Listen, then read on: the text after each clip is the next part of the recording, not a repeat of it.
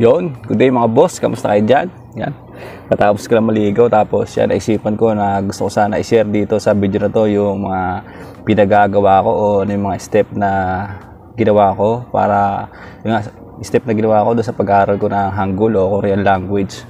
So yan, gusto ko i-share dito sa video natin kung ano-ano ba yung mga step na pinagagawa ko. Pero yun, Ah, disclaimer lang no, hindi pa naman tayo professional sa ano, hindi pa naman professional, hindi pa naman tayo talagang magaling o hindi kumbaga yung knowledge natin, kaalam natin ganyan pa lang, konting-konti lang.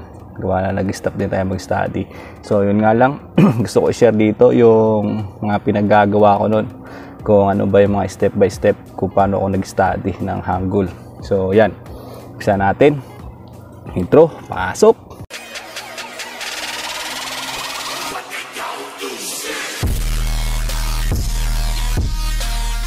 Lang. Yung mga boss, gagawa na gusto nga i-share yung progress ko, pinagagawa ko dito sa ano, pag-aaral natin ng Korean language, so yung Hangul. So yun, yung step 1 na pinag, yung ginawa ko dyan, siyempre una, minemorize ko muna yung alphabet nila o yung Hangul, no, kung tawagin. So yan, inumpisa natin sa uh, vowel, sa consonant. So vowel ba sa consonant ba yung tawag doon? Yun, basta ilang letter lang naman yon, ilang vowel lang, vowels lang naman yon, saka ilang consonant lang naman yon. So pinilit ko talaga yon sa isang araw, kinabisado ko siya, no? Nabisado ko talaga yung pagbigkas. Para kasing alphabet, ano lang yan ng alphabet natin eh. Uh, A, B, C, D, E, o A, E, I, O, U. Parang ganun lang siya. So, yun muna, inumpisa ko muna aralin yun. So, di nung nakakabisado ko na ng konti, nakapagbigkas na ako ng konti ng A, E, I, O, U yan, umpisa ko na rin mag-practice magbasa-basa kahit na hindi ko na siya naintindihan. Basta yung isang ano na yun yung isang mga ano ba tawag doon, mga sentence na yun na binabasa-basa ko lang siya para ma-practice ako. Tapos di yan, nung medyo nakabisado ko na talaga. Tapos yun, yun nga lang kada, siyempre, kada magkabisado ka maganda rin yung sinusulat mo rin siya no? Kuwari eh, kinabisado yung ah, mas maganda sinusulat mo rin siya sa ako kasi yun yung pinag yun yung ginagamit ko na sulatan yan. Meron akong mga ano dito yan, mga whiteboard marker ganyan. So doon lang ako practice practice lang ako magsulat doon tapos sa papel na rin ballpen yan. Practice practice lang magsulat. Basta, di yun nakabisado ko na nga yung hanggol niya yung consonant sa vowels. Yan nag-umpisa na akong mag ano yan mag konting basa magbasa-basa. So yun, habang nagbabasa-basa di yan, tinutuloy-tuloy ko yung mga ganun paulit-ulit lang. Di sa isang araw nga natuto akong magbasa, nakakabisado ko yung consonant niya, tapos kinabukasan, uh, nagbasa lang ako na nagbasa, na nagbasa, pang 2 days ko. Basa lang ng basa, hindi ako hindi pa muna ako nagkakabisado ng mga vocabs. Yan, basa lang ako ng basa. Practice ko lang yung practice ko lang yung sarili ko na makakita ng ano, makakita ng mga Hangul o yung mga Korean na ano, letter. Di yan, nung sa tingin ko na okay na, medyo uh, pag, ah, meron kasi ako ginawa no, nag-install ako ng apps. Yung sa apps na yon marami siyang mga sentence.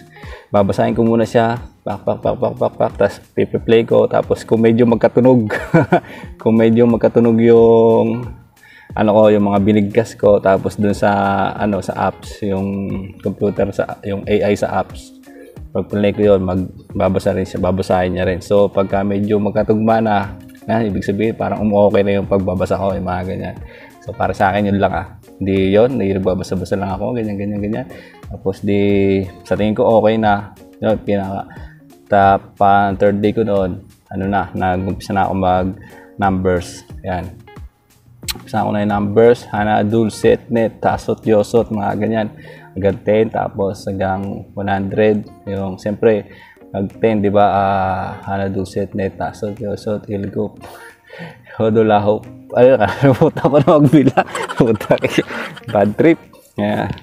De, hana dulcet, net, to, do, uh, hana dulcet, net, tasot, yosot, ilgop, yodol, hahop, yol. Yun pala, 10, yol.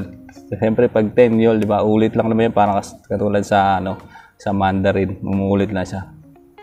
So, Yolhana, parang ganun lang, di ba? 10. Yolhana, Yoldul, Yolset, Yolnet, ganyan. Pag sa 20 naman, ganyan. Naaral-aral ko. Kasi, iba yung sa 20. Uh, parang sumul, Soron, Mahunshin, mga ganyan. Ito nga meron, itignan ko yung notes ko. Ayan, balik ito, ito kasi yung reviewer ko. Ayan. Tapos, ano pala mga boss, no? Ah, tawag ito maganda daw kasi wag mo sanayin na meron kang ano, meron kang 'di ba yung iba katulad nung sa akin, 'di ba? Ano siya? Pure Korean language lang yung nakalagay diyan, yan oh, pure Korean language. Yung iba kasi ginagawa, kunwari nakalagay doon Hana, meron silang alphabet pa na Hana, yung ganoon para doon sila nagbe-base. Kumbaga ito, maganda daw sanayin mo na ganito lang. Pure pure Korean lang ang nakalagay para pag binasa mo, hana, doon siya, di ba, maano mo talaga, mapamiliarize ka sa, ano nila, sa letter nila. So, yun, isang ano ko rin yun, na hindi ako nag-base sa, ano, sa alphabet natin. Talagang sinunod ko lang talaga yung ano, na kahit medyo iba yung pronunciation natin, pero at least kahit paano, ano, pag nakita natin o nakita natin o nabasa natin, eh medyo may pamilya ah, medyo familiar tayo sa kung anong ibig sabihin niya no. Kasi ganoon naman sa exam, di ba? Multiple choice lang naman doon. Kaya yan yan kasi yung gusto kong mga exam, mga multiple choice. Para kasi madali namang hula pag gaganyan. Eh. Ayoko ng mga essay, mga ganyan. Pag multiple choice yan. Pag hindi ko alam yung sagot, laging sila ko yung sagot ko dyan. Yun, ganun lang. Basta pag hindi natin alam yung sagot sa exam, di si lahat. No? yun yung sagot natin. Hindi yan. Yung ano ko doon, isa sa mga way ko na pag pinag ah, isa sa mga way ko na hindi ako nag-base sa mga alphabet. Basta sa alphabet natin. Yun. Kaya sinari ko talaga yung sarili ko na magbasa talaga ng ano, na Hangul. So, di yun. Di nag-ano ako ng mga numbers, tapos ng numbers, tapos parts of the body, ganyan. Mori, ulo, mori, buhok, mori karag, diba? Yung face, all gul, ilong ko, ah, labi, labi ip, ngipin, i, tenga, gwi, mok, ah, leeg, ah, okay, okay ba yung shoulder? Hindi ko na masyadong kabisado kasi matagal na nga rin ako hindi ano, nakapag-study. Okay, shoulder, tapos son, kamay, son, son karag, daliri, ano ba yung kuko? Ano ba yung kuko? Nakalimutan na natin. Son, son, son karag, finger eh. Son badag, son badag yata, palm. Ah, Sontog, Sontog kaki, ah, Sontog kaki, Sontog, yun, Sontog yata yung kuko kasi Sontog kaki, ano siya, ah, nail cutter. Tama ba yung mga pinagsasabi ko? Hindi, yun lang. Ano lang naman sa atin mag-share lang tayo ng ano. So, yun, di, nung kinabisado ko na yung numbers, siyempre sa numbers pa nga pala kasama, meron yung mga ano, meron yung pag, pag-count kasi yung, tawag doon, yung counting numbers, may mga ganyan sila. Ah, kumbaga yun, medyo nag, ano rin tayo doon. Siyempre, pag bote, pyong, may mga ganyan eh. May mga ganyan usapin. Pag minute, boon, ah, pag years, nyon, week, due, yung mga ganyan kasama isa sa ano. Ah, tama ba? Paano ba yung ano nun? yung mga animals, mari, years, sal, sal, yung mga, kuwari, sa oras, shi, di ba? Yung mga ganun nga, tas minute, boon, parang ganun. Basta inaral ko rin konti-konti yung mga numbers na hindi pa natin talaga masyadong ano yan eh. Hindi pa natin masyadong familiarize yan, pero babalik pa, pa rin natin yan. Tapos yan, nag- nagkaroon ako sa numbers, tas counting numbers. Tapos yun, yung ano ba yung may experience sa counting numbers? kasi nga 'di ba kada sa ano iba-iba kasi gamit ng mga counting numbers. Kuwari sa tao, sa RAM, 'di ba? Pag sa mga building iba rin yung gaga- gagamitin na mga ano dyan, mga counting numbers. Basta ganoon. Pag ina pag inumpisahan niyo na mag-study, yan madadaanan niyo rin yan. So di yun, pagkatapos noon, nagano na ako sa mga parts of the body. Yan. Kinabisado na mga parts of the body, sunod ako ng parts of the body, tapos parts of the body, pagtapos ng occupation, yan, mga trabaho, yan, kaya kasi mahalaga dyan, lumalabas talaga sa exam yan. Mga trabaho tulad ng teacher, sonsing name, di ba? Ah, nurse, kanusa, doktor, wisa, mga ganyan. Kaya kabisado, kabisado natin mga mahalagang trabaho. Ah, police, kyong chalguan, ah, ah, ba, ano ba yung bombero? Bombero, subangguan, mga ganyan. Tapos, mga trabaho, di ba? Ano ba yung nagde-deliver ng ano, nagde-deliver ng mga letter, mga sulat, mga mensahe, option, jeep, bewon, parang ganon. Di, ano yan. Eh, basta yung mga ganon, trabaho, kinunti-kunti rin natin yan. Occupation, pagtapos ng occupation, yung mga place naman. Ayan, mga place katulad ng airport, kung hang. Ano airport? Kung hang ba airport? Sa airport, kung hang. Tapos, tapos sa mga trabaho, ano pa ba yung mga place? Mga bangko, unhing, mga ganon, mga hospital. Hos- ano ba yung hospital? Pucha, nakalimutan ko na. ano yung hospital? Hospital Pyongwon pala. Yung hospital pala Pyong, Pyongwon. Yan, nakakalimutan natin. Sa mga bus stop, mga ganyan, yung Ryojang, mga River Kang Road, Road, at Doro, mga ganyan. Ah, basta mga lugar, kung yung mga ma, mga anong lugar sa ano, kahit anong lugar. Yan. Meron naman yan mga ano, pag nag-aral na kayo sa book 1 saka sa book 2, meron na yan, sunod-sunod na yan. Basta pag nasa place ka, yan, aralin mo lahat ng mga place. Meron naman yun, meron silang ano doon. Tapos ng place, mga things, yan. Nag-aral din tayo mga things. Katulad pagka, yan, to, relo, sikye, di ba? Pagka, sing-sing, ano ba yung sing-sing? Panji. Panji ba yung sing-sing? Panji, tapos pag ikaw, yan, Gwikoli, mga ganun, naralin natin yan, necklace, Bokoli, konti-konti lang, tapos, di yun, nag-aaral ako ng mga things, mga tulad ng refrigerator, ng Django, ng Django ba, tapos, kaya, calculator, calculator, sikye, basta lahat ng mga things na, na, na nakapaligid sa'yo, na may ano, may, may pwede lumabas sa exam, gunting, gwi, ay, gunting, gwi ba? Yung gunting, gwi. No, basta parang gano'n. Tapos eraser, eraser, jiuge. Tapos ba, ewan ko kung tama yung pinagsasabi ko. Pero yun lang kasi yung ano, familiarize ko doon. Tapos, uh, tissue, yoji ba? Tissue, yoji. Tapos t-shirt, oat, cloth, oat. Mga ganyan. Konti-konti lang hanggang sa dumami dumami. Tapos, yun, ang, ang ano ko pala, ang pag-study ko, hindi ako nag-study ng matagalan. uh, kasi nga, ayaw ko na masyado ma-stress yung sarili ko. Yo, so, basta everyday noon, nag-aaral ako. Pero pa konti-konti lang. Siguro naglalala ako ng mga focus na pag-aaral, mga 30 minutes. Yan. Tapos pagka yung parang nagre-review-review ako, yan, nagbabasa-basa lang ako, hindi ko na alam kung ilang oras nun. Basta yung pagre-review-review kasi parang dinadaanan ko lang siya, binabasa-basa ko lang siya, ganyan-ganyan lang, para lang ako naglalaro na ano-ano ko lang siya, binabasa-basa ko lang siya. Ito, katulad nito, ito sa reviewer ko na to, dito lahat nilagay ko yung mga napag-aralan ko na. Kaya konti pa lang naman siya. Ayan. Nilagay ko dyan mga napag-aralan ko na. Basta ano lang siya, uh, nakalagay dyan, Hangul, tapos yung meaning niya sa English, yun lang. Nabasa-basa ko lang siya. Hanggang pagbabasa-basa ko, konti-konti na papamiliarize natin. Katulad ng bag, kabang, di ba? Yung mga ano talaga natin. mga alam, mga kabang. Yan. Di, yun, pa konti-konti na ako sa things. Tapos nag, ano pa ba, nagsab, nakakabasado ko na yung numbers, parts of the body.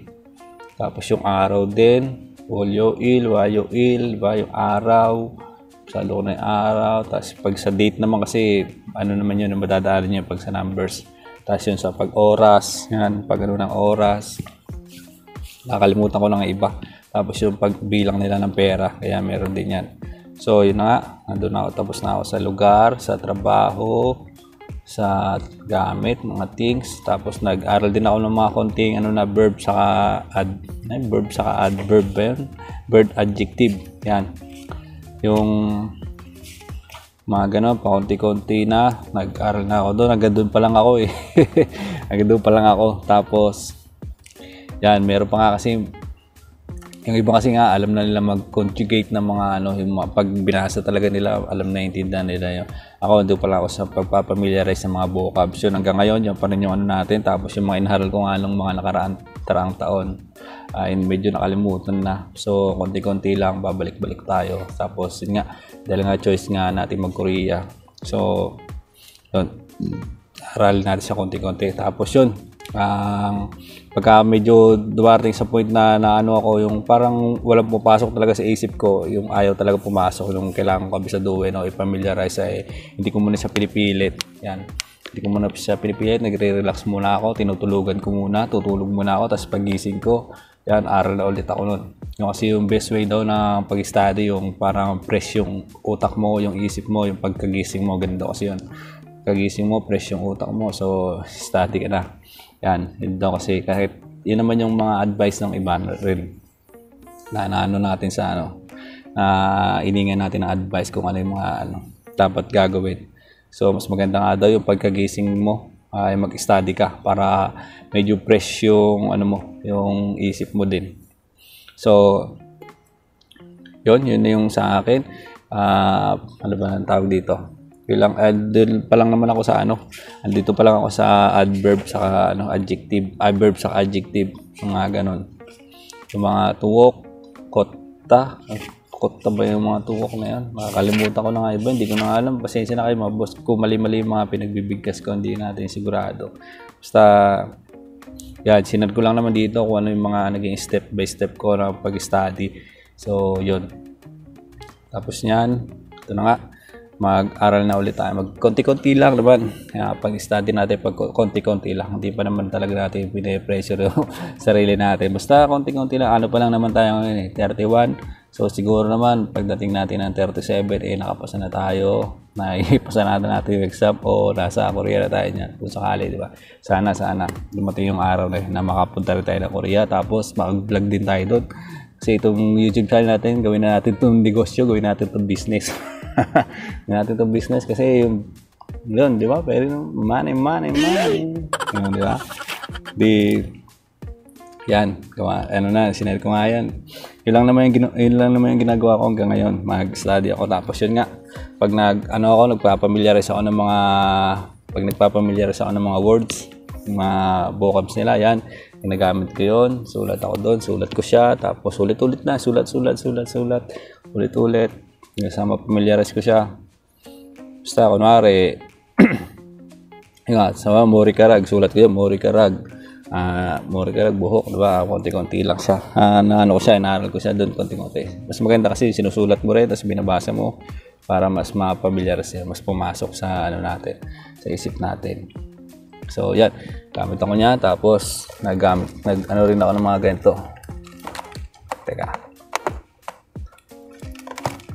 Ito. Nagagamit din ako ng mga ganito. Dami ko nga dito eh. Nakapa-categorize to mga to eh. Ito, mga nakaka-categorize to. Yan. Basta naka-ano siya.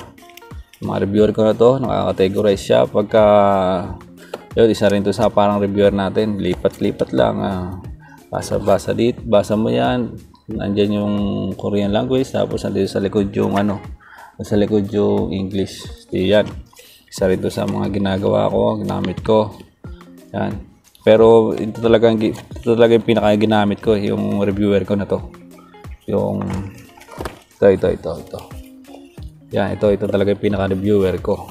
Yan lahat ng mga nadadaanan ko na vocabs, iniino ko na dito, sinusulat ko na dito, nililista ko na lahat.